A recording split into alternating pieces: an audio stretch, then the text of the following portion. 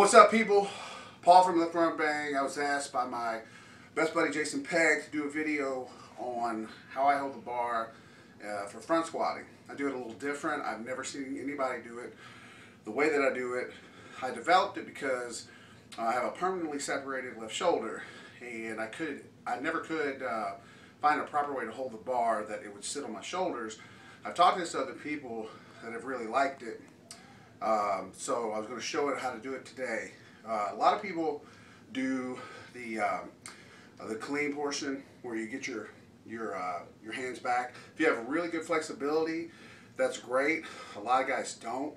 If you don't do Olympic lifts or you don't train your CrossFit where you need to do Olympic lifts, you don't have to hold the bar that way if you find that uncomfortable. The other way that people use it is to use the uh, arms cross position. A lot of bodybuilders used it that way for a long time, and I still see powerlifters using it that way too. Uh, Pegg told me that he didn't like that position either. Said he, he just could never feel like it set in close enough and tight enough. So what I did was, uh, the way that I developed it was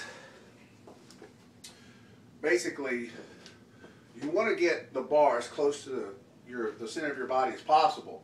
And I mean that means it's pretty much going to choke you. So I mean I'll often cough when I go to star fronts. So basically what I do is is I bring my arms up, okay, and I want my the bar to really be in tight. So it's not going to be comfortable. And I put my hands like this against my cheeks basically, and I get uptight like this. And basically I hold the bar in this position. So as you can hear my voice change, it's because it's pushing against my throat.